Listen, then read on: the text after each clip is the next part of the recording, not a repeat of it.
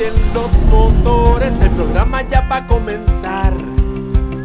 Abróchense bien los cinturones, que la entrevista va a iniciar. Plática amena que Selim ya va a realizar, con invitados que su vida nos van a contar. Hay emociones, sentimientos, todo puede pasar. Ven, súbete y vámonos.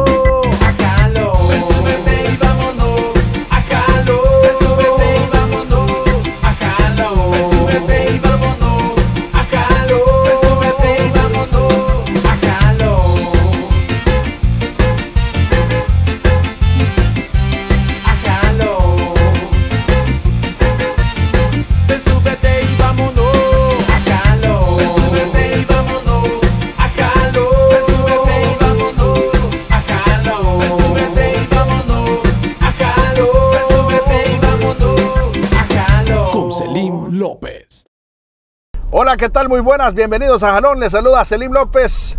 Seguimos con más jalones desde San Pedro Sula. Hoy tengo el privilegio de poder conversar con alguien que ha marcado su nombre mediante trabajo, constancia y disciplina en los medios de comunicación. Y es un referente, sin duda alguna, no solo de San Pedro Sula, sino que a nivel nacional. Hoy tengo el agrado de subir en este vehículo a Gustavo Vallecillo. Tavo Vallecillo hombre de radio, hombre de televisión y que hoy nos cuenta varias anécdotas de su vida, varios aspectos importantes de cómo le ha tocado salir adelante. Un capitalino, porque nació en Tegucigalpa, que se ha radicado en San Pedro Sula y que muchos consideran que es de la Ceiba. Imagínese usted, nació en Tegus, vive en eh, San Pedro Sula, pero muchos creen que es de la Ceiba. ¿Cómo está esa situación?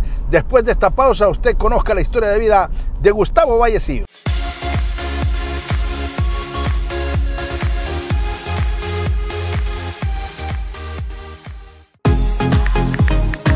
Descarga la aplicación Canal 6 Honduras y lleva tu programación favorita a todas partes. Noticias, deportes, música y mucho entretenimiento al alcance de tus manos. En cualquier dispositivo móvil, disfruta lo que más te gusta con la app Canal 6 Honduras. Disponible para Apple y Android. Síguenos también en redes sociales.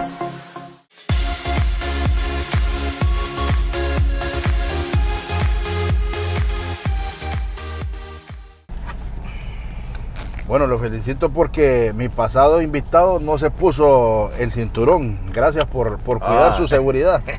Es la costumbre, Sí, ya. hombre. Qué bueno que esté aquí Gustavo Vallecillo. Eh, quiero agradecer su tiempo. Eh, quiero agradecer que, que hace un chance para que los televidentes de Ajalón con Selim López puedan conocer su historia de vida. Le cuento, el viernes pasado arrancamos en esta nueva casa televisiva, Canal 6, y usted es la siguiente personalidad del norte al que vengo aquí a entrevistar a la capital industrial para conocer eh, sus orígenes, su vida, algunas anécdotas y gracias por estar conmigo. Bueno, qué bueno, qué bueno. Va, va a faltar más tiempo Sí. porque en una hora para contar tantas cosas, pero démosle viaje. Démosle viaje, démosle jalón pues. Eh, Gustavo Vallecillo es hijo de... De Gustavo Vallecillo e Isbela Lía Sánchez, Ok. Ceibeño y Olanchana. Y eso es como, como se... Si estaban tan distantes, ¿cómo se encontraron? Se conocieron en Tegucigalpa Ajá. y por tanto yo nací allá. Ah, ¿usted Sí, es capitalino? Soy capitalino. Ajá. Y- Pero usted, ¿cuántos hermanos son? Somos tres. Ajá. Somos tres hermanos, pero eh, los tres somos de allá. Ajá. El pero es que cuando yo nací era el muñequito, el tabito, pero solo duró la emoción como cinco meses, porque mi papá, creo que de ahí viene lo caliente mío, eh, tuvo, al, eh, eh, sacó embarazada de mi siguiente hermano, a mi mamá, y entonces la situación estaba yuca. Sí. Y me tuvieron que mandar con mi abuela a vivir Ah. allá a la costa norte. Mi abuela vivía en Olanchito en ese entonces. Me fui a vivir a Olanchito. Ajá. Olanchito, Zonaguera, Sí. Planes y luego Ceiba. Mucha gente cree de hecho que yo soy de la Ceiba. Soy bien, bien, bien de Honduras. Sí, sí. soy bien de Honduras Sí. porque ahora mismo la gente cree que yo soy de aquí y yo incluso creo que soy de aquí. De San Pedro. Sí, porque aquí son mis hijas, mi hijo. sí. Y pues ya San Pedro Sula se volvió como, como mi, mi ciudad. Tu base. Así es. O- ok, pero eh, ¿vos sos el mayor de todos? Sí. Ok, De los hermanos. después, ¿quién, quién viene? Eh, Ricardo, que está en los Estados Unidos, y Alan Vallecillo, que es el otro Sí, que, el que DJ. es el DJ. El DJ, sí. A-L-L-A-N. Sí, sí, ahí lo hemos escuchado en algunas rolitas también.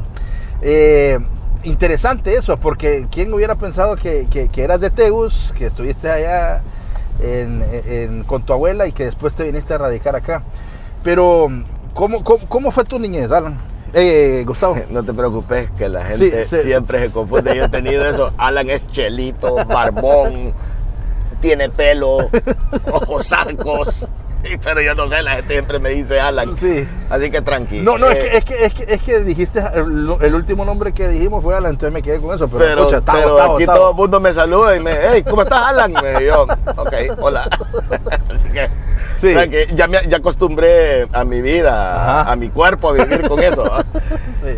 Eh, que, eh, bueno, La, me la niñez difícil. Eh, no, no, ¿qué te voy a decir? Más bien fue una niñez bien eh, como se debe de vivir eh, la, la- la niñez sin con mucha inocencia, sin, eh, sin picardía, aunque luego pues la calle te va haciendo. Claro. Pero fue una niñez que te podría decir, no, no, fue una niñez eh, golpeada, sí posiblemente con, eh, con altibajos, con muchas cosas que, que quise tener, pero eso es lo que te hace ser gente en el futuro, pues. claro. Es lo que te forma. Exacto, Forma cuando, carácter. cuando vas logrando muchas cosas que no podías y lo haces por tu propio esfuerzo, creo que Claro. eh, es- eso te va haciendo pues grande. Claro que sí. Pero, pero tu abuela entonces eh, fue quien te formó hasta cuántos años, a los cuántos años. Oh, mi abuela fue parte de mi niñez y mi adolescencia. Ya mi abuela, como mi abuela era de la vieja escuela, eh, al salir del colegio, yo soy de los peritos mercantiles y contadores públicos. Sí. Eh, cuando ya salí de la, eh, del colegio, pues quería estar en la universidad y mi abuela, ya mi abuela vio que yo entrar a la universidad con unos ojos así como, ¿qué? ¿Vas a seguir estudiando? ¿Estás loco? Ajá. Y yo, sí, yo necesito seguirme superando, necesito Claro. hacer más cosas. Y bueno, pues eh, quizá en eso no, no estaba muy de acuerdo, pero lo hice, o sea, eran cosas que tenía que armar y pues me acostumbré de repente, creo, desde ahí a hacer muchas cosas que, que- que a mis padres, que a mi abuela no, no apoyaban, desde ponerme piercing, desde Ajá. hacerme tatuajes y desde sentirme yo, pues. Claro. Pero te tocó trabajar de cipotillo. Sí. ¿Qué sí, hiciste claro. de cipotillo? Eh, uf. Mira, lo, lo- lo- lo que hace un montón de cipotes eh, para estos tiempos, trabajar en un supermercado mientras Ah. estabas en, en vacaciones del colegio. Sí. Eh, sí, luego pues lo más difícil fue esa parte de la universidad. Cuando ya no había el soporte económico, Claro. entonces tuve que echarle ganas y decir, bueno, ni modo, voy a ver cómo es esto de trabajar y estudiar. Es bien difícil Sí. pero tenés que hacerlo, pues. Entonces me puse a trabajar en un banco, fui Ah. cajero de banco. Ok. Y, mm, pero en algún punto resentiste el no estar cerca de tus papás. Creo que sí, creo que sí. Es bien, eh, eh, es normal eso, e- ese sentimiento cuando, cuando no estás cerca de ellos, pero también era bien, e- era una situación bien extraña porque, porque la relación de ellos no era la mejor. Ajá. Entonces, eh, prefería estar en otro lado, aunque quisiera estar con ellos, pero era más En feliz paz. aparte, en paz, Sí. eh, a estar con ellos que, que, había una violencia doméstica bastante, bastante marcada. Ah, ok. ¿Y eventualmente tu mamá se divorció de él o no? No. No. ¿Siguen no, juntos? No, mi papá murió, pero sí, posiblemente creo que si eso hubiese pasado, hubiese sido un buen punto de la historia, aunque Sí. la historia se escribió de otra manera y pues no podemos hacer nada, pues. Y eso, eso, eso tan íntimo que estás contando, como cipote, te generaba molestia, querías defender a tu mamá, querías, o sea, Ah, no, sí, claro, claro. Estabas de te estabas consciente de que existía eso. Claro, claro, claro. O sea, fue una situación muy eh, muy difícil de esos episodios que te pasan en la vida que, Ajá. que los borrás, Sí, que los borrás automáticamente y no querés tenerlos ahí siempre porque, Sí. porque te pueden afectar, pues Claro. aunque, aunque de una u otra manera te afectan en tu personalidad, Claro. te, afer- te afectan en, en tu carácter, Sí, sí. eh, pero tenés que seguir la vida, pues. Eh, eh, ¿Tu papá era violento? sí, sí. ¿Alcohólico? No, No. no. O sea, ya era un defecto de carácter de él, pues. O sea, esa Pues, violencia sí, la eh, trae. Mi la trae. papá creo que eh, le molestaba mucho no haber logrado lo que él se había propuesto se frustró. y posiblemente esa frustración eh, se transformó en, en- en esa violencia que estamos hablando. Eh, y era muy difícil, pues, era muy difícil. Y aún así, pues, el amor nunca desapareció eh, de parte de nosotros los hijos, Claro. aunque sí costó. Sí. ¿Heredaste vos esa violencia? Pues fíjate que creo que queda, queda así como en, en- en tu subconsciente algo. eh, sabes que eso es malo, son cosas que vos decís, cuando yo sea grande no voy a ser así. Y pues paso peleando con eso. Hay momentos que te saca alguien de tus casillas y, y podés de repente hasta ser radical. Claro. Y entonces ahí es donde me ey, Sí, acuérdate sí. cómo terminó tu papá, Sí. bajale las rayas al tigre. Sí, claro, claro. Ok, pero volviendo a ese, a ese momento, porque sí interpreto entonces que, que- que existió eh, un Tavo tal vez triste como niño, pero que pronto se dio cuenta que si no era trabajando y no era esforzándose, no salía adelante. Eh, justo para entrar a la universidad entiendo que entras al banco, Sí. Para mantener tu carrera. Estuve un semestre, un semestre solo estudiando, pero ya sin ningún soporte económico. Ok, Por suerte tuve una novia que tenía dinero eh, y entonces ella me invitaba a desayunar. Fu- fuiste Superman. Ah, pues sí, súper mantenido. era una novia y mira, era bien difícil porque ella era más alta que yo. Cagaste de llavero. No, cállate, era el llavero. Y lo, y lo peor de todo eran los pretendientes de ella. Ah. Porque la- la- a quienes a ella le gustaban eran manes gigantescos que yo no les podía decir Sí. nada. Pues yo iba agarrado de la mano con ella Sí. y adiós, amorcito. Sí, qué cosa. sí. Y yo como les decía, perro basura, ¿qué te pasa? Ah. No, pero, pero ahí está bien, eh, bien dicho el dicho que dice que pero pequito, pe- chiquito pero picoso. ¿verdad? Eh, Exacto, La, la- la en- labia. En, en lo pequeño está la esencia. Ajá, pues sí, la labia. Y entonces ella eh, siempre me invitaba a comer. eh, Ella más o menos sospechaba mi situación económica. Sí. Y con ese desayuno, brother, me hacía todo el tiempo de Aguantazo. comida yo. O sea, o ¿ah? sea que se hambriaste. sí, claro, claro, claro. Tenemos ¿Y, que y- hablar. eh. y- y qué, qué es hambriar? Por ejemplo, vos hoy sos un referente de la radio, de la televisión. eh, muchos hipotes te miran como alguien cool, como alguien pucha, qué, qué macizo, ah, eh, Tavo. Pero, pero ¿qué es, ¿qué es hambriar? O sea, la gente que sabe hambriar sabe que es tener Sí. ese, ese agujero en el estómago. Ok, eh. Pero ¿cómo se lo traducirías a ella? Mira, li- literalmente, eh, el hambrear es, ok, brother, quisieras tener un pedazo de pollo frito, un arroz con, con algunos frutos secos, Sí, sí. papitas. Y no, brother, te tocaba comer eh, huevo con tortilla los tres tiempos del día. Sí. Eso es lo literal. Ahora, ¿qué es hambrear en, la- en- en una profesión? tiene que ver mucho con la comida también, pero eh, el hambre de, de querer conseguir algo, de querer ser algo, de querer lograr algo. Sí. Y a cuesta de, de- de- de tu esfuerzo, de tu sudor, Claro. sin, sin hacer cosas bajas, pues, sin, Sí. sin nada sexual, Sí. sin, sin ofrecer cosas que no, no sino saber que, que van a haber muchas puertas que te las van a tirar en la cara.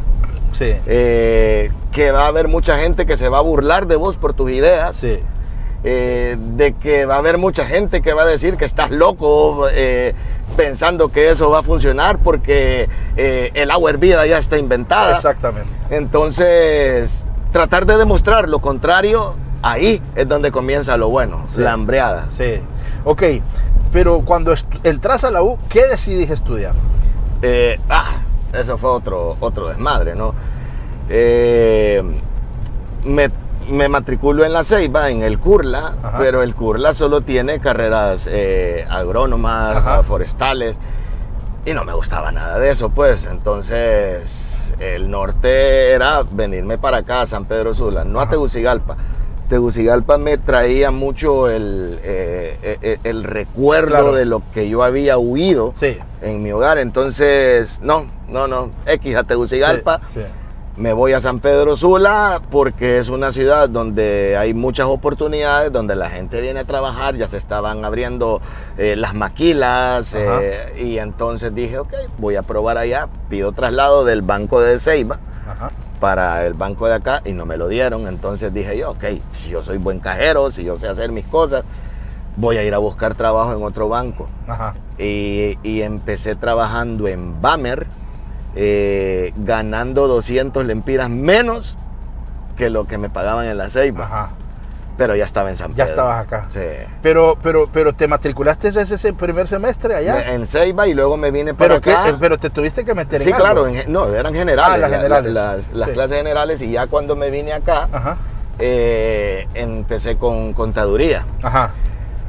El problema aquí, el- el- la educación pública, la educación de la universidad, que siempre hay maestros que, que cargan una frustración bárbara. Ah, claro. Y entonces eh, ya iba como mi segundo año y vino un maestro y no le caí bien y me dijo así, enfrente de todos, vos no vas a pasar mi clase. Sí. Y yo creo que eso no le pasó, no me pasó solo a mí, pues y aunque eso podría ser como un reto para alguien, Sí. sabes que cuando le caes mal a Sí. alguien, no- na- Sí. ni aunque le lleves Sí. Las manzanas que le llevan los profesores, te, te- sí. te vas a quedar alegre. Pues yo dije que no me jode este viejo hijo de tantas y pues me salí de la carrera y no voy a estar aguantando gente como perra que él a lo mejor pensó que yo era un mediocre, pero el mediocre era él. Claro. Ves por tratar alumnos que Sí. de repente no sabes cómo está su, su mente, cómo está de equilibrado, ánimo, cómo, sí. cómo, cómo va. ¿Cuál es su historia? Exacto. Sí. Luego me paso a administración y en administración me pasa casi lo mismo con, con un señor, con, con un negro que daba clase y el brother era racista. Ah. Y entonces e- era una situación bien incómoda. Yo dije, no, o sea, sí me gusta, me, me gustó mucho la administración, pero porque llevaba, lleva mucho de acuerdo con lo que yo había estudiado en Claro, el colegio, pues. Claro. Pero cuando ya empiezo a, a trabajar en radio, porque eso sí, me costó trabajar mucho en radio, eh, em- estuve tocando puertas. Pero y, espérate, espérate, pero ¿de dónde sale quiere meterte a la radio? Ah, ok. Eh, mi papá era, mi papá era un artista. Ajá. Mi papá tenía una voz que te intimidaba. Hijo de pucha. Una voz de esas que te decía, Salim, vení para acá. Ajá. Y vos cuando le escuchabas la voz te orinabas. Sí. Entonces, eh, escucharlo a él en la radio era como, wow. Sí. Una vez me llevó a la radio de él y yo lo estuve oyendo. Dio la hora, dio el reporte. Pero del- del- en Teus. en Tegucigalpa. Ajá. Y, ¿En qué radio? eh, trabajaba en radio. ay, espérate, a ver. Estaba en una radio que se llamaba eh, Estéreo Saturno. Ajá. Y entonces eh, lo escuché yo, wow, wow. Y luego Pero empezamos él era a hablar. periodista. Él era, él era cantante. Ah. Él era cantante. eh, Mira, mira, mira cómo, mira cómo, o sea, eso, eso es, eso, es que dicen, "E- esta persona estaba destinada a esto, pero es que en la sangre está el ADN. O sea, imagínate, tu papá locutor, terminás vos enrolado en los medios de comunicación, cantante, tu hermano cantante. Sí. O sea, cómo, cómo el, el ADN de- al final incide en lo que uno se va a dedicar, pues. Sí, él, él- él tiene mucho que ver con la historia de, de el rock en español hondureño. Ajá. Eh, él fue parte de Los Roar, que, es una banda muy respetable en, en cuanto a la música clásica hondureña. Claro. Música del recuerdo. eh, estuvo en Los Roar, estuvo en un grupo que se llamaba Los Brass. Ajá. eh, y pues ahí hasta sacó su par de canciones. Vos pones en YouTube Gustavo Vallecillo y aparece una canción eh, de- que es de las primeras canciones de él, Ajá. que tiene pues una, eh, eh, una grandilocuencia a la hora de cantarlo. Es muy bonita la letra. Tenés que ponerle atención para entenderle. Ajá. No es una letra fácil, no es una letra de esas que te puedo decir si tu novio no te mama el... Ok, no, no, es, es una letra que, que wow. Eh, y ahí estaba haciendo Los Pininos. Luego Sí. sacó una, eh, un disco que fue eh, producido por eh, un señor que le produjo a, a Leonardo Fabio y a Ah. otros artistas grandes. El disco era grandioso, pero había un problema. Ajá. Era hondureño él. Ah. Y aquí en Honduras, brother, Sí. vos, vos como... Sigue siendo difícil que consumamos Vos como producto. comunicador estás consciente de algo, ¿ok? Aquí los comunicadores sabemos de que la gente, hay algunos que nos van a seguir, Sí. pero la mayoría va a decir, ¿y ese vago quién Sí. es? Ese a mí no me representa, Sí. eso ush, eso es un basura, y la gente es bien grosera, Sí, pues. Y, no, y eso no cambiaba, de, no cambia, Sí. y no ha cambiado desde hace un Años. montón de años. Sí. Eso es lo mismo. Sí. Es lo mismo. Entonces mi papá llegaba con su disco, ay, qué bonito, mira, está, ¿y con quién lo grabaste? Qué bonito sonaba esta mandolina. Pero muchas gracias. Y entonces ya mi papá le ponía la canción y cuando él se iba, ¡pum! a la basura el disco. ¿Ves? Y un disco que costaba bastante Claro, y que significaba mucho para, para la familia. Claro, claro. Entonces de ahí viene eso del locutor. Exacto. Ya después yo... di- Entonces ya de cipote, eh, estando en la U, dijiste, bueno, ¿y por qué no le pruebo la radio? Pues aquí en San Pedro. Pues fíjate que eh, me acuerdo que cuando vi a mi papá ese día, él me regaló un cassette con bastante música que él creía que a mí me gustaba. Habían algunas que no conocía, pero gracias a ese cassette sí las conocí y empecé a agarrarle un sentido eh, diferente a la música. Eh, yo siempre fui bien top 40. Ajá. Eh, siempre me gustó mucho la música gringa, Ajá. me gustó mucho... el- Bien popero, como dicen. Así es, Ajá. pero también poco a poco me fui convirtiendo en rockero. Ajá. Entonces ya, ya todo fue más profundo, ¿entendés? El rock te Ajá. pone a cranear, Sí, el rock te pone a muchas cosas. Sí. El rock no solo es música, el rock es, es- es una actitud. Entonces Claro. vas, vas metiéndote sumergiéndote en ese mundo que decís, wow, o sea, es tan diferente a la gente. Por ejemplo, cuando yo llego a San Pedro con todos esos gustos musicales, San Pedro Sula era merenguera, San Sí. Pedro Sula aquí eran fiestas de Asomopro, del Palenque, del Centro Social Satélite, Sí. y que todo el mundo a bailar punta con Sí. los Silver Star, con los- y yo, fuck, mátenme, qué horrible esta mierda, ¿entendés? Pero eh, cuando la gente me conocía con esos gustos, a mucha gente decía, ay, no, esa música horrible, tan eh, ruidosa. sí, que no". sí. Pero lo mismo sentía yo Con para los que les gustaba la música salsa. Y yo creo que fue un odio, un odio simultáneo. Casualmente acá, mira, vamos pasando por donde fue mi primer trabajo. Ajá. Aquí era Bammer. Ah, ya. Aquí, aquí pegadito, donde están todas estas tiendas de acá. Ajá. Y sí, ganaba poco, pero era muy feliz. No, ya estabas acá y, y estabas ya en la universidad, ya estabas viendo cómo era la cuestión, pero cuando te salís de, administra- de administración es, ¿verdad? Sí. La, la segunda, Ajá. la segunda carrera, ahí es donde te decidís meterte en la radio. Ok, eso fue como a mitad de los noventas, eh, cuando ya había estado trabajando en radio, no trabajando. eh, Asistente. Iba, iba a matar el rigio, como dijo mi papá una Ajá, vez. Ajá, Entonces. ¿Qué radio? eh, en Ceiba era Radio Caribe. ajá, Ahí solo iba como iba a ver, pero de repente sucedió un fenómeno. ajá. El Gustavito, o sea, como escuchaba radio gringas, Ajá. entonces llevaba un mood muy diferente a los locutores de allá. Claro. Los locutores de allá, hola, ¿qué tal? ¿Cómo está? Saludos a toda la gente. que le-". Y yo, qué horrible esa vaina, ¿va? Entonces lo mío es, hola, people, la vamos a pasar bien. Entonces empecé con ese estilito y de repente empezaron los hipotes de los colegios bilingües Ah, de escucharte. a llegar a dejarme notas porque no había un teléfono ahí. Entonces Ah, Ni mucho me- menos WhatsApp, y, ni y nada, de eso, nada de eso. Entonces me dejaban en notas, saludos y canciones que querían que les complaciera. Pucha. Cosa que no había pasado con Mm, los otros locutores. Sí. Me llamaban a la otra radio, esa era una emisora de emisoras unidas, Ajá. y me llamaban a la otra radio, eh, que era como eh, radio, sos de Tegu, me dijiste, Sí, sí. como radio satélite, Ajá. no sé si existe todavía Sí, radio satélite, que es una radio de servicios sociales. Y, man, todo el mundo, eh, ¿me puede comunicar con Gustavo? ¿Me puede comunicar con Gustavo? ¿Me puede comunicar? Entonces me llega el loco, me dice, yo no puedo dar ningún servicio social, todo el mundo te está llamando a vos. Eso no había pasado nunca antes. Y ahí vieron el fenómeno de la radio que sí podía significar algo, pues, pero los compañeros que habían ahí... La eh, envidia. la envidia, todo eso. eh, un día le dijeron a la dueña de la radio, a la gerenta de la radio, y un día llegué, una noche llegué, y me dijo el guardia, no, fíjese que doña Nena Ya no lo dejas. dijo que usted no, no podía pasar Te a la clavearon. Ja, cállate, Te el piso. Ese día yo, cam- yo vivía como a 10 kilómetros de ahí y me fui caminando sin parar de llorar. Sí. sin parar de llorar. Claro. Luego vengo acá y acá también casi que me sucede lo ¿En mismo. qué radio estuviste aquí? También en una emisora de, de- de Emisoras Unidas. Ajá. Y, y estaba haciendo unos programas que le gustaba a la gente. De repente me puse los domingos y un día que llego a la radio Ya me está. dijeron, no, fíjese que ahora es otra radio. Me dice, ya, ya no puede entrar usted Ah. acá. Y yo, fuck, no puede Sí. repetirse la misma historia. Pues esto, quizá esto no es para mí. Pero ahí era ya en, en la universidad. Sí, ya estaba en la universidad trabajando en el banco, me iba caminando, brother, hasta esa radio. No sé si conoces la panadería moderna. Sí. En la 7 calle, el banco quedaba en la Quinta Avenida. Y yo me iba caminando desde la Quinta Avenida hasta la. ¿Qué? 14.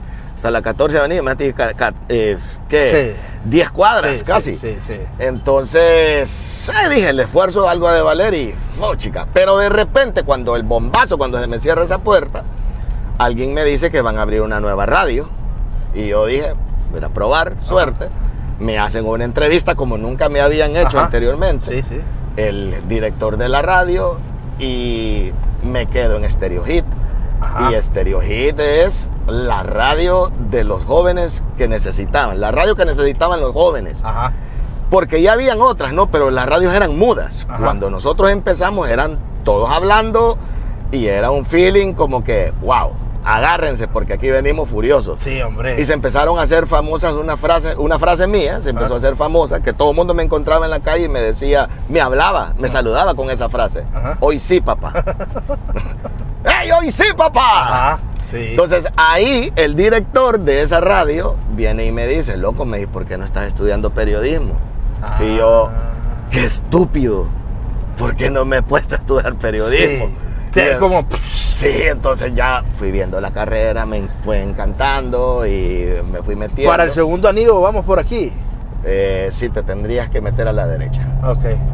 Sí, es que, es que la vez pasada anduve roleando por acá, con, grabando con Carlos Martínez, buen amigo. Ajá. Y él me dijo. Carlos fue compañero mío. Sí, sí, y me dijo. Me dijo que por aquí era la, la entrada.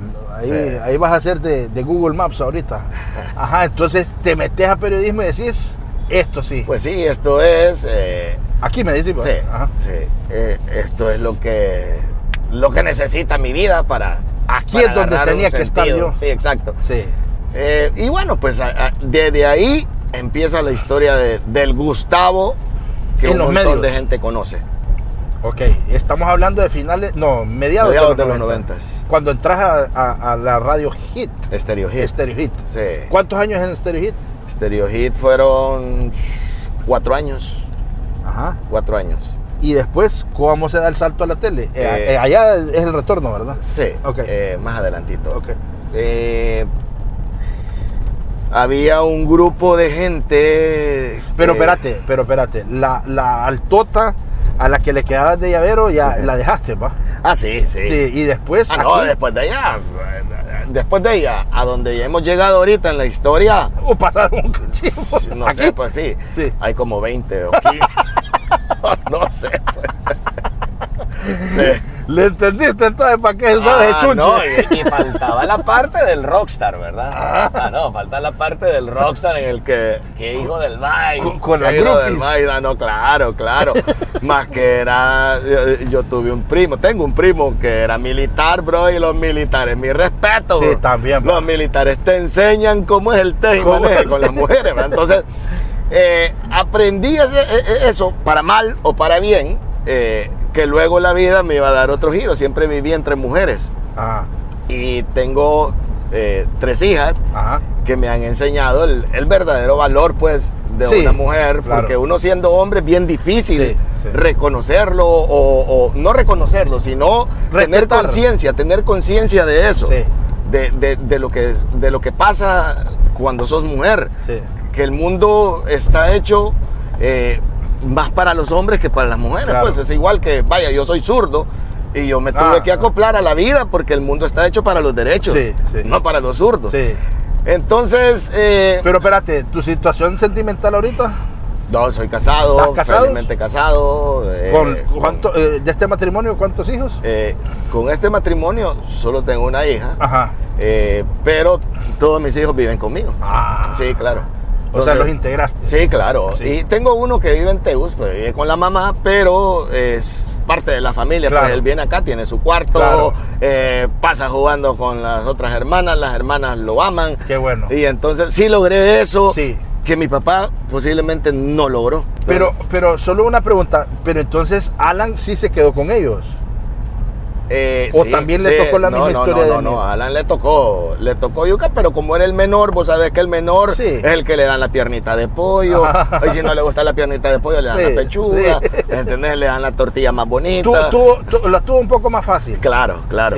Pero, claro. pero, pero en algún punto, o sea, eh, de eso como vos integraste a tus hijos, ¿cómo se dio con ustedes? Porque yo, yo los veo en las redes sociales y vos amás a tu hermano. Ah, no, claro, claro. Pero ¿Cómo se dio? ¿Pero que- porque vos lo buscaste o porque tus papás lo propiciaron? No, porque desde que él nació yo lo amé. O sea, desde que estaba en la panza de mi mamá, yo pasaba imaginándomelo como era, como eh, imaginaba ir al cine con Ajá. él. Soy un loco que me encanta el cine, me Sí. encantan las películas. Sí. Entonces me imaginaba ir al cine con él, comprarle ropita, Ajá, ajá. eh, tenerlo como muñequito. Sí. Entonces eso fue... Fue como creciendo en mi mente y nunca desapareció. Y Sí. es pues, él es mi hermanito, Sí, chiquito. y lo adorás. Ah, no, claro. Das la vida por él. Claro, toda la Así vida. me pasa a mí con, con el mío, el segundo, que se llama Ariel. Yo por Ariel doy la vida y te entiendo porque así, así pasa. Me pero, con ese bus y no des la vida ahorita. Sí. pues. Pero pero el, el que está en los estados, ¿cómo es la relación con, con ustedes? También porque con- él es mi hermano en el dolor. Él es mi hermano de sufrimiento. Con él vivimos Ah, las situaciones más pesadas de la de, de ahí, lo de tus papás. Sí. Pero, pero lo ven de vez en cuando, regularmente. Él viene, Ah. ustedes van. Fíjate que ha sido bien, bien difícil la vida eh, en eso. Sí he ido yo allá donde está él. Él mm, le ha costado sacar papeles, ¿ves? Eh, La vida no le ha sonreído como, como nos ha sonreído a Alan y a mí. Ajá. Aún estando en el país donde todo el Sí, mundo quiere estar. Claro, claro, pucha, mira qué, qué cosas. Sí. Entonces, volviendo a, a esto de la televisión, decís que, decías que había un grupo ajá, de, de, de Ok, qué? de- de- en la televisión están los de máster, están los, los directores de cámara y entonces había un canal de televisión acá que ponían películas, un canal de cable y los chavos me escuchaban. Y de repente esos chavos los llevan a Canal 11. Y en Canal 11 había Espérate, un- pero no era el, el- el- el canal del cable famoso este y que era que estaba en Canal 4. eh, no, No. eh, creo que era Mayacable. ah, no, entonces. Sí, no. era Mayacable. Y Sí. entonces los chavos me escuchaban porque yo tenía un programa en Estéreo Hit en la madrugada. Brother, yo no sé si vos has escuchado bromas en radio de la gente que llama haciendo Ajá, sí, bromas. sí, sí. Las bromas de nosotros eran bromas de troquero.com. Así, man. Entonces, eso, eso le encantaba a la gente, pues. Sí. Eh, Nos llamaba un man, loco, llama a mi novia y decirle que tuve un accidente. Ay, ¿cómo la voy a llamar a las 2 de la mañana? Una, Sí. Se muere, Sí. que se puede morir. Pero, Sí. A vos te pelele, loco, sí, llamarle. sí. Es más, yo aquí voy a estar en la línea para que, que hagan la llamada. Ajá. Y man, y así pasaba, llamamos. Aló, pues, usted es la novia de tal.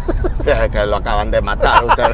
Oye, no, éramos, éramos bárbaros, pues. sí. Cosas que, lo- que, que la generación de cristal de ahorita. Sí, ah, se ha muere. hecho, ¡Ah, ah, Sí, me da un infarto. sí, pues. Pero así, eso nos fueron escuchando los chavos y me propusieron a mí para un programa musical que había salido en Canal 11, que era un programa que querían eh, promover estudios académicos, valores morales, bla, bla, bla. Y cuando a mí me llama, yo, no me jodan con esta vaina, pero bueno, pues voy a salir en televisión sin Sí. pagarme. ¿va? O sea, Sí. solo me hicieron la propuesta. Sí. Tenemos un problema, pero no tenemos billete. Y yo, démosle viento, pues. Sí. Démosle viento, o sea, ya me había venido a San Pedro Sula Sí. ganando menos que lo que ganaba allá. Sí. Y era que era una aventura más que, que iba a perder. Claro. Entonces lo hice y el programa empezamos a hacer locuras.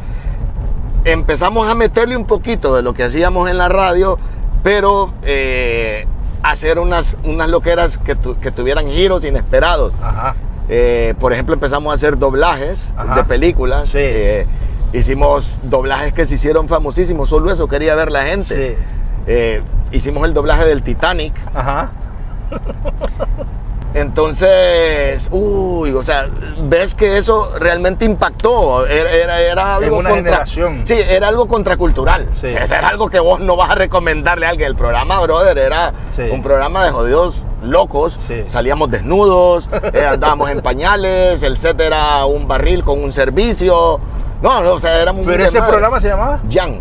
Jams, pero, Jam. pero eh, ese, ese programa eh, en el 97, decís. Sí, 97, 98, 99, 2000, 2001.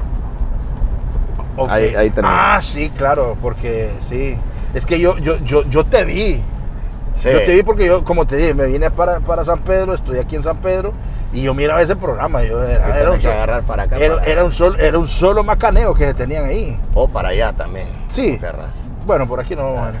Ah, Entonces. era un, todo, todo un macaneo ahí. un, un día vamos y el, el- los directores como que no les parecía mucho la idea de lo que se estaba haciendo porque ellos querían que la vaina fuera más educativa, enseñémosle a los jóvenes, loco, que mira. Y yo, "Ma, yo, o sea, tenés una responsabilidad al salir en los medios. Fuck, la responsabilidad no me va, yo me quiero divertir, quiero, Sí. yo quiero, quiero entretener, pues. Y, Sí. y entonces vamos al, al- al castillo, al fuerte de San Fernando de Omoa. Ajá. Entonces íbamos a hacer algo así, medio cultural, hablando de la cosa. Y quedó viendo yo, brother, le digo, aquí podemos hacer una vaina tipo Mortal Kombat. Y empezamos a hacer Mortal Kombat. Los poderes eran pedos, olores en las axilas.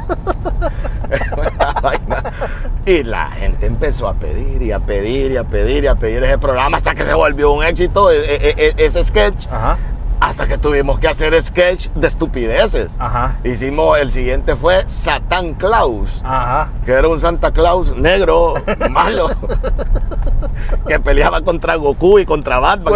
Pues. Una vaina bien mafufiada, pues. Sí, sí. Pero eso, eso ves, solo lo mirabas, esa- e- e- e- ese cine de, de- o, o ese tipo de, de sketch de estúpidos, solo lo mirabas en películas. Claro. No lo- y, y la gente de Honduras no estaba acostumbrada a ver Sí, esas estupideces, sí, pues. sí. Entonces, eran estupideces que nosotros vivíamos al 100, o sea, no lo hacíamos premeditado, nos cagábamos Sí, de la risa, sí. igual, era algo súper orgánico. Y eso, y eso fue, fue marcando una tendencia, pues, o sea, yo, claro, o sea, fue marcando un estilo que, que, que, que te- que te eh, hace hoy lo que sos, pues. Sí, de hecho ahí todavía seguía la frase, hoy sí papá, y, y ahí es donde, wow, se popularizó. Todo el mundo me miraba en la calle, Sí. hoy sí papá. Qué pedo, ah, pero bueno.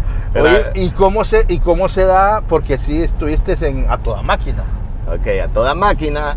O sea, porque dijiste que llegó hasta el 2000. Sí. En el 2001, eh, de repente llegué al canal y ya me tenían el chequecito y yo, uy, qué feo. Pero hubo llamados anteriores Es que, y que no ah, acataste. No, no, no. eh, teníamos ahí como una, una peleita que era a saber qué fue. Cosas Ajá. que pasan. Pasó como un año y un día llegan a la radio. Yo estoy en mi programa de radio en la mañana. Ajá.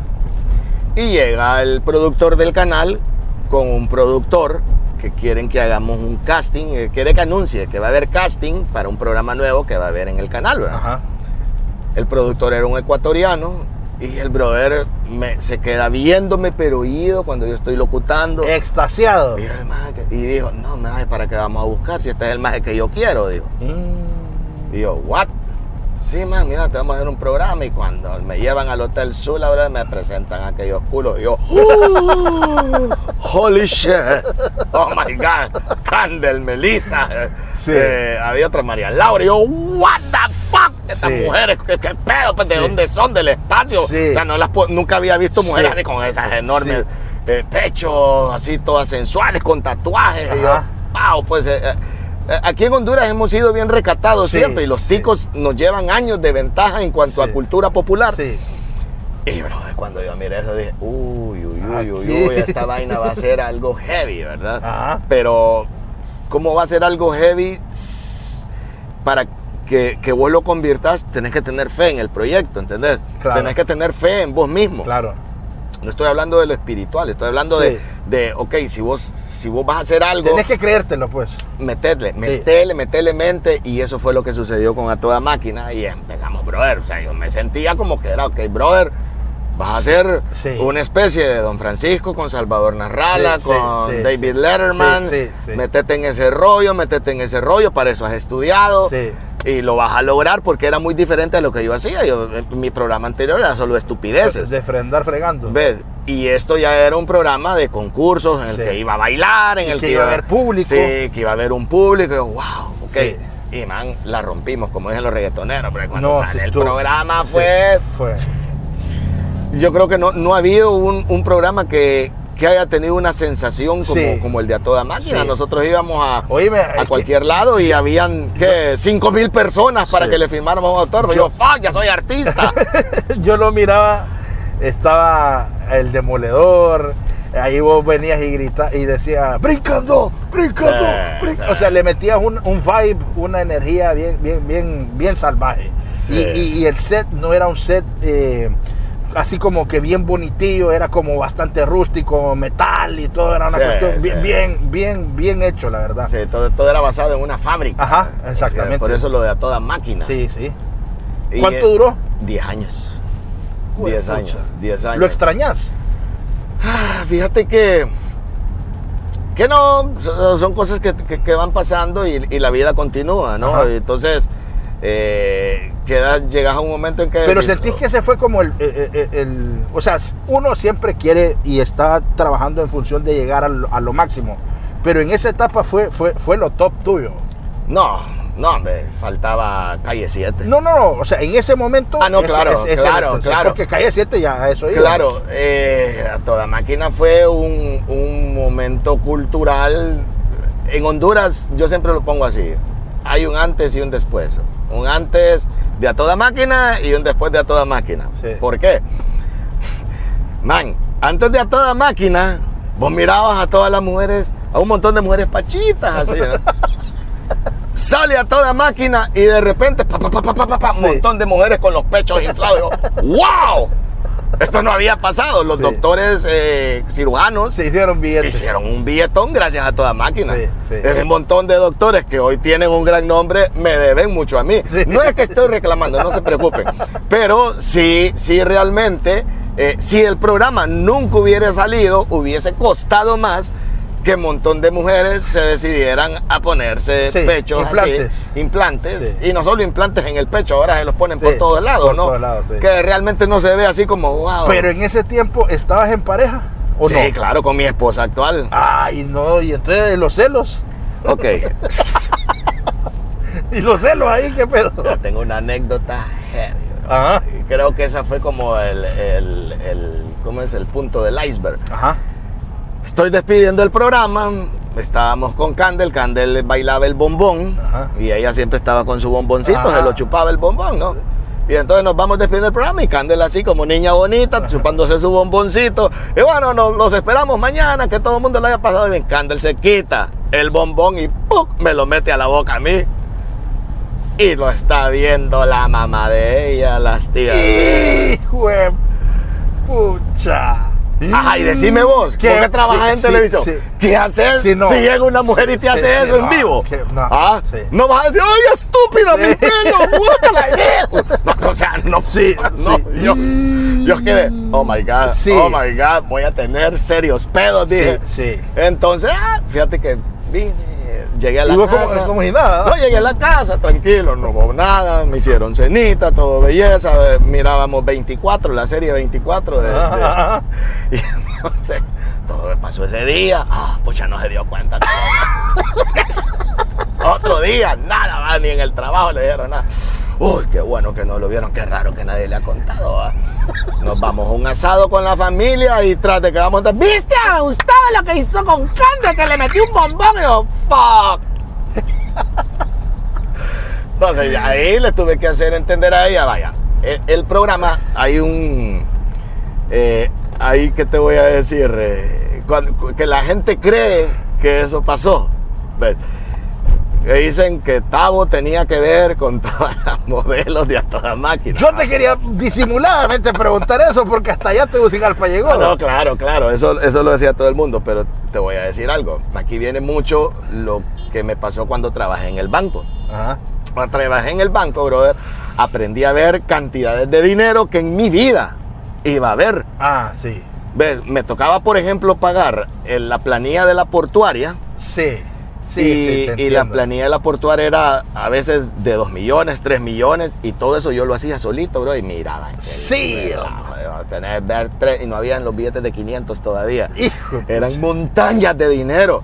Brother, y tenías que acostumbrarte que ese pisto no era no, tuyo. no era tuyo. Y Era- que no podías eh, eh, bolsearte ni 100 pesos. y ni nada de eso, y era tu trabajo. Sí. Era tu trabajo. Entonces, eso me enseñó Sí, fíjate que a, que a ver que el trabajo es eso, trabajo. Y las muchachas, mis compañeras, No eran, no eran para tu disfrute. Exacto, eh, eh, eran parte de mi trabajo, aparte que eran mis compañeras, eran, no las miraba tampoco como, como mujeres, como aquel objeto sexual, Sí, sino sí. como, mano, o sea, es un ser humano como vos. Que Que, tiene ganando- pechos, que, Que está bonito. Yeah, baby. Pero tenés que calmarte y, y- y pensar como que estás en el banco. Me metí en ese rollo, sí. Y, y le, y le hice entender a mi esposa, mira, Leo, este es un trabajo del cual vamos a vivir, aparte de lo que vos haces también, Ajá. pero esto es lo que yo hago y así me conociste. Sí. Y entonces, Pero si entonces, te metes en rollo, vamos a ¿cuánto- tener una vida difícil. ¿Cuánto tenés de casado con tu esposa? Veintipico de años. No, es- es bastante. Veintipico de años. ¿Y- No, ¿Y, eh, ella, ella es tu complemento? Uy, al ¿Es tu 100, amor? al 100, al 100, al 100. Es la, es la- ¿Le tenés eh, algún tatuaje dedicado? Sí, uf, un montón. Este es ella, eh, este es ella. Tenemos un restaurante, un artista lo eh, fue a hacer este, esta pintura en, una, en uno de nuestros privados del restaurante. Y yo dije, wow, me gusta y me lo voy a hacer. Es comida italiana, Eh, ¿verdad? Es, es comida de todo, internacional, hasta Ah, hondureña, ajá. gourmet. Ajá. Esta es la canción de In Excess eh, que bailamos con ella en nuestra boda. Y en vez de ponerme Paola te amo, Ajá, sí. me puse el nombre de la canción Sí. y aquí lo ando pues. Sí. Y esta es la historia de ella con la hija de ella y mi hija mayor, ajá. que casi son de la misma edad. Y cómo me fui uniendo con, con las chicas superpoderosas. Sí, sí. A ver si se ve por ahí. Sí. Y Aquí también. Acá bueno. también, sí, ok. Las chicas superpoderosas, que fue eh, la unión de mi familia. Fue como logré que, que mi familia se hiciera una sola. Y no replicar el trauma infantil que tuviste. ah, no, no, no, no, no, no. Eso, eso tenía que borrarlo Sí. como diera lugar. Sí. ¿Sos feliz? Súper. ¿Lo tenés todo? Es que habría que o sea, no, material, no material. Lo tenés todo eh, espiritual, eh, sentimentalmente hablando. Sí, claro, claro, claro, Sí. claro. Tengo eh, el amor, el amor de, mi, de mis hijos. Lo tengo al 100, o sea, no, no soy un papá que los hijos, ay, quitémonos que viene este Ajá, jodido, ajá, ¿entendés? sí. O sea, como ese sentimiento que tienen un montón de hijos hacia su padre. Y no, no, no, nos llevamos súper ¿Y cómo, bien. cómo, con- eh, cómo eh, conectás con ellos? Eh, ¿Jugás? eh, Claro, la consola? siempre, siempre. Ahí pasamos jugando videojuegos. ¿A quién le da Fortnite? No, más, somos más de, más de sangre. Ajá. Jugamos el Gran Theft Auto, Ajá. paso fifiando, paso jugando. Ah, ¿juega FIFA? Sí, claro. Ah. Eh, paso jugando unos juegos que son sumamente difíciles, que se llaman Dark Souls. Ahorita hay Ajá. uno que se llama Elden Ring, que Ajá. ahí paso Sí. metiendo, Acaba de salir, muriendo, este. muriendo. Sí, acaba Sí, de salir. sí. Paso muriendo, muriendo, muriendo, pero eso es parte del juego. Ajá. Y, y Pero no lo, no, no lo streameás. Fíjate que a veces, a veces, eh, ay, es que streamear, man, tenés que hablar bastante. Y, y yo cuando tengo que hablar mucho, me siento que estoy con mis amigos y empiezo a decir demasiadas malas palabras. Entonces,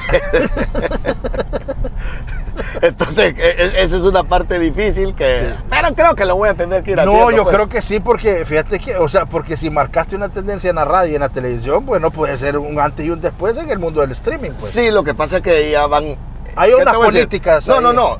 Ya hay mucha gente que ya es grande en eso. Y ahí me toca como empezar y a veces, ay, qué hueva. O sea, para hacer un streaming como este, tengo que comprarme esta cámara, tengo que comprarme este ajá. micrófono, tengo que comprarme estos audífonos. Ah, la porra, nada. No, entonces mejor solo le dejas para, Ah, para distraerte. ah, hay una película que se llama El extraño mundo de Walter Mitty. que sale ajá. eh, Champagne eh, y ah, Ben Stiller. Ben Stiller, sí. Y hay una pasada, eh, Champagne es un fotógrafo Sí. que está en una montaña esperando que salga un tigre eh, por meses. Sí. Y solo sale una vez a tomar el sol el tigre. Y él está con la cámara listo para darle clic. Y entonces llega con Walter Mitty y ay, le dice, estate tranquilo que ya va a salir el tigre. Y en eso sale el tigre y el man lo queda viendo. Y mira, Ben Stiller mira que el man no le da clic a la cámara y le dice, pero ¿por qué no le has dado clic? Tómale la foto. Hay cosas, dice, que se deben quedar en tu vida, en tu memoria y no compartirlas para todo el mundo. Tiene que quedarse solo para Solo vos. para vos. Ah, creo que por Sí, ahí me he sí, ido con sí. eso de los videojuegos, los disfruto, tengo mi- mis amigos, mis grandes amigos que he conocido a través de los videojuegos. Bueno, después fue Calle 7, que también cuántos años estuvo en la televisión. Calle 7 está desde el 2000... ¿Sigue? No, no, ya no. 2013 al 2019. Seis 2000 años. Sí, 2020, cuando empezó la pandemia. O sea que sí, o sea que vos siempre has sido de proyectos largos y Sí, has tenido una sí, estabilidad. claro, Fíjate que- claro, que, claro. que- que destaco eso porque eso de andar rebotando en los medios de comunicación es bien, es bien complicado. Vos has tenido como canal base el 11 y siempre has desarrollado tu carrera televisiva ahí y las radios pues has, has tenido diferentes participaciones. Así es que ellos creyeron en mí, pues, al, Claro. al- al- al ver que se hicieron cosas taquilleras y que la gente respondía eh, y que profesionalmente eh, lo, lo iba a hacer. Ah, no, me faltó el otro proyecto, me mandan, me mandan a decir, Gustavo, prepárate que te vas a Guatemala porque hay un proyecto que se llama la Academia Centroamérica. Y yo, Ah. ¿what? Man, si yo toda la vida me he burlado de la academia. Mi mamá pasaba viendo la academia con mis hijas y yo, uff, ya están viendo eso ustedes. Y me mandan a mí, loco. Yo, no puede ser, ¿verdad? Y, y- y imagínate lo que es ir a trabajar a otro país. Claro. Con gente que no conoces, Sí.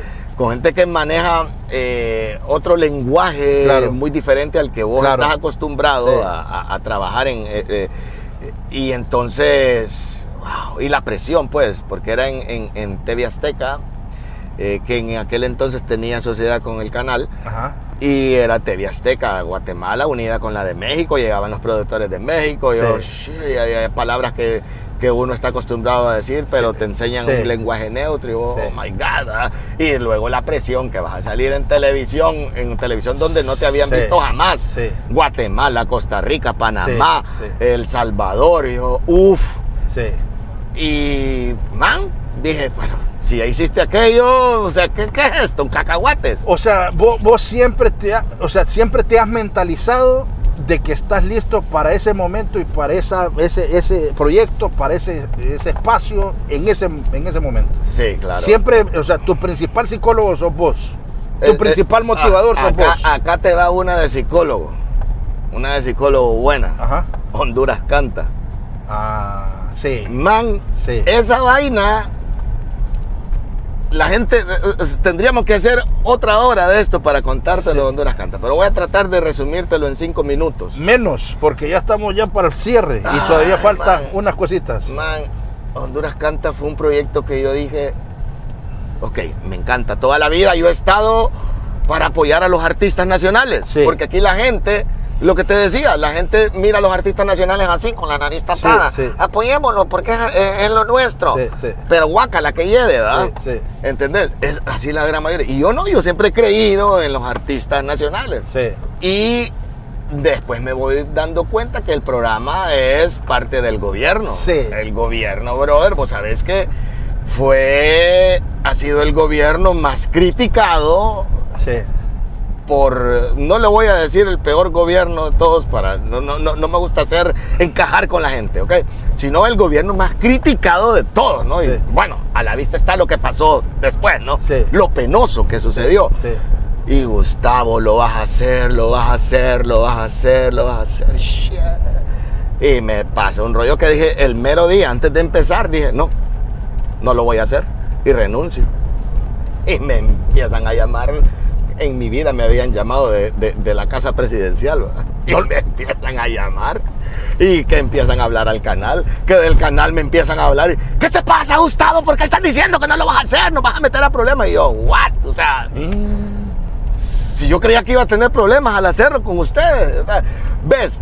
Eh, por eso te decía, la situación psicológica fue tan difícil, tan yuca. Eh, entonces, eh, el Gustavo ese que habíamos mencionado, que, que le ha hecho huevos, tuvo que hacerle, pues, y tragarse críticas de gente. Pero, ¿qué pasó con ese programa? El programa, brother, era un programa monumental, un Sí. programa de esos que difícilmente lo vas a ver acá. Sí. Y yo no estaba eh, contratado directamente por el gobierno, Sí, estaba contratado por la casa productora sí. que estaba realizándole. Y esa misma casa productora es la misma que le, que le hizo el montaje al- a, a- a- a doña Xiomara ahorita. Ah. ¿Entendés? Y entonces que supiera la gente, que Sí. supiera la gente que todos, la mayoría que estábamos trabajando éramos anti ese gobierno, Sí. pero ahí estábamos. ¿Por qué? Porque la mayoría éramos artistas que queríamos apoyarnos entre todos. Y que era lo que siempre criticábamos de todos los gobiernos y de toda la gente, que aquí nunca nadie apoya a nadie. Claro.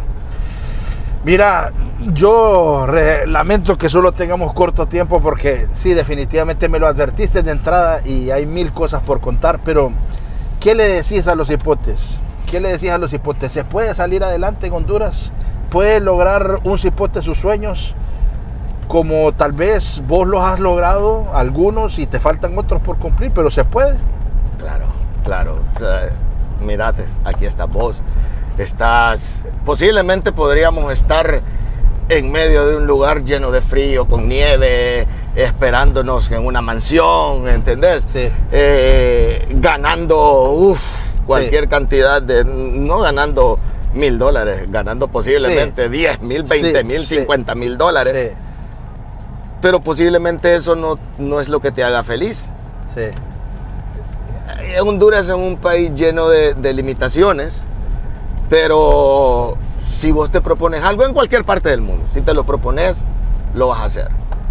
Lo peor que pueda, que pueda pasar es que te griten eh, mediocre o que te griten tonteras, pero al final vos sos el que cargas con lo tuyo, eh, con tus demonios, con tus cosas buenas, Tus miedos.